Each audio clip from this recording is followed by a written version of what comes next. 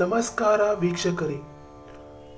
ನೀವು ಇಷ್ಟಪಡುವಂತಹ ಪರಪುರುಷ ಆಗಿರ್ಬೋದು ಪರ ಮಹಿಳೆ ಆಗಿರ್ಬೋದು ನಿಮ್ಮ ಗಂಡ ಹೆಂಡತಿಯಲ್ಲಿ ಏನಾದರೂ ಕಲಹ ಆಗಿದ್ದರೆ ಈ ಒಂದು ಈ ಒಂದು ಕ್ರಿಯೆ ಮಾಡಿ ಸ್ನೇಹಿತರೆ, ಇದನ್ನು ಮಾಡಿದ್ದೇ ಆದಲ್ಲಿ ನಿಮಗೆ ಹಂಡ್ರೆಡ್ ಪರ್ಸೆಂಟ್ ರಿಸಲ್ಟ್ ಸಿಕ್ಕೇ ಸಿಗುತ್ತದೆ.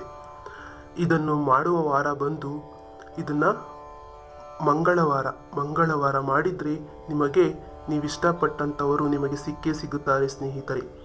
ಅದನ್ನು ಮಾಡಲಿಕ್ಕೆ ಬೇಕಾಗಿರುವಂಥದ್ದು ಈ ಥರದೊಂದು ಎಲೆ ಬೇಕಾಗುತ್ತೆ, ಸ್ನೇಹಿತರೆ. ಎರಡು ಎಲೆ ಬೇಕು, ಮತ್ತು ಕಾಳು ಮೆಣಸು ಬೇಕಾಗುತ್ತೆ, ಹಾಗೆ ಅಕ್ಷತೆ ಬೇಕು. ಒಂದು ದೀಪ ಹಚ್ಚಿಟ್ಕೊಂಡಿರಿ, ಹಾಗೆ ಒಂದು ಕೆಂಪು ಪೆನ್ನು ಬೇಕು, ಸ್ನೇಹಿತರೆ. ಇದಿಷ್ಟು ಇದ್ದರೆ ನೀವು ಇಷ್ಟಪಟ್ಟವರು ಎಲ್ಲೇ ಇದ್ದರೂ ಹೇಗೆ ಇದ್ದರೂ ಯಾವುದೇ ಸ್ಥಿತಿಯಲ್ಲಿದ್ದರೂ ನಿಮ್ಮ ಮೇಲೆ ಎಷ್ಟೇ ಕೋಪ ಮಾಡಿಕೊಂಡಿದ್ದರೂ ಅವರು ನಿಮ್ಮವರಾಗೇ ಆಗುತ್ತಾರೆ. ಈ ಒಂದು ಕ್ರಿಯೆ ಮಾಡಿದ್ದೆ ಅಲ್ಲಿ. ಇದನ್ನು ಮಾಡುವಾಗ ಯಾರಿಗೂ ಹೇಳಬಾರದು, ಯಾರು ಸಹ ನೋಡಬಾರದು. ಹಾಗೆ ಈ ಒಂದು ಕ್ರಿಯೆನ ಮಾಡಿ ಅದನ್ನು ಮಾಡಲಿಕ್ಕೆ ಮೊದಲು ನೀವು ಒಂದು ಒಳ್ಳೆ ಮನಸ್ಸಿಟ್ಕೊಳ್ಬೇಕು ಮಡಿಯಿಂದ ಮಾಡಬೇಕಾಗುತ್ತೆ. ಸ್ನಾನಾದಿ ಎಲ್ಲ ಮುಗಿಸಿ ಮಡಿ ಬಟ್ಟೆ ತೊಟ್ಟು ನಿಮ್ಮ ಕುಲದೇವರನ್ನು ಪ್ರಾರ್ಥಿಸಿಕೊಂಡು ಮತ್ತು ಅವರ ಕುಲದೇವರನ್ನು ಪ್ರಾರ್ಥಿಸಿಕೊಳ್ಳುತ್ತಾ ಈ ಒಂದು ಕ್ರಿಯೆಯನ್ನು ಶುರು ಮಾಡಿ. ಇದನ್ನು ಶುರು ಮಾಡೋದನ್ನ ಮಾಡಬೇಕಾದ್ರೆ ಮೊದಲಿಗೆ ಈ ಒಂದು ಹಾಳೆಯಲ್ಲಿ ನೀವಿಷ್ಟಪಟ್ಟವರ ವ್ಯಕ್ತಿ ಹೆಸರು ಬರೀರಿ. ಇಲ್ಲಿ. ಮತ್ತೆ ಪ್ಲಸ್ ಚಿಹ್ನೆ ಹಾಕಿ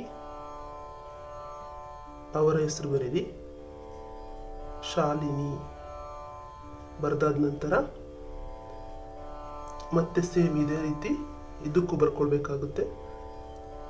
ರಾಜ, ಇದರಲ್ಲಿ ಒಂದು ಡಿಫರೆಂಟ್ ನೋಡಿ ಸ್ನೇಹಿತರೆ ಹೇಗಿದೆ ಅಂತ. ಸೊ ಹಾಗಾಗಿ ಈ ಎಲೆಲ್ ಮಾಡಿದರೆ ನಿಮಗೆ ಹಂಡ್ರೆಡ್ ಪರ್ಸೆಂಟ್ ರಿಸಲ್ಟ್ ಸಿಗುತ್ತೆ.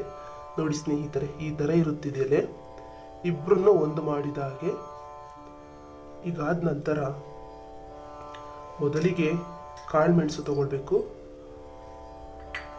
ಒಂದು ನಾಲ್ಕು ನಾಲ್ಕು ಕಾಳುಮೆಣಸನ್ನು ಹಾಕಬೇಕಾಗುತ್ತೆ.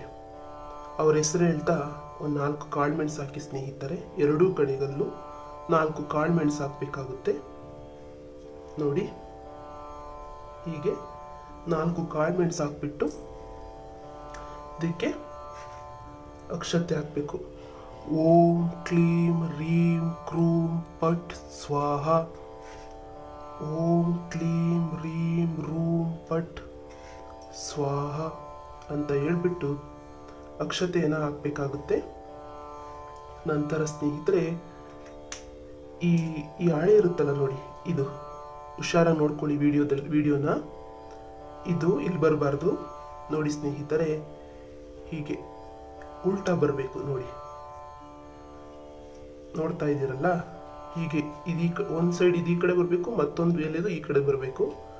ಬಂದಾದ ನಂತರ ಇದೆರಡನ್ನು ಹೀಗೆ ಸುತ್ತಿ ಸುತ್ತಬೇಕು ಹೀಗೆ. ನೋಡಿ, ಹೀಗೆ ಸುತ್ತಬೇಕು. ನೋಡಿ ಅದು. ಹೀಗೆ ಬರಬೇಕು ಸ್ನೇಹಿತರೆ. ನೋಡಿ ಈಗ ಬಂದ ನಂತರ ಇದನ್ನ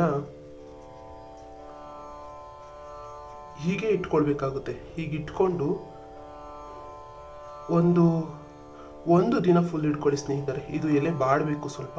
ಬಾಡಾದ ನಂತರ ಇದನ್ನು ತಗೊಂಡೋಗ್ಬಿಟ್ಟು ಅರಿಯುವ ನೀರು ಅರಿಯುವ ನೀರು ಬೇಡ ಸ್ನೇಹಿತರೆ. ಮಣ್ಣಲ್ಲಿ ಗುಂಡಿ ತೋಡ್ಬಿಟ್ಟು ಹೂತಾಕ್ಬಿಡಿ ಹೀಗೆ. ಗುಂಡಿ ತೋಡಬೇಕು.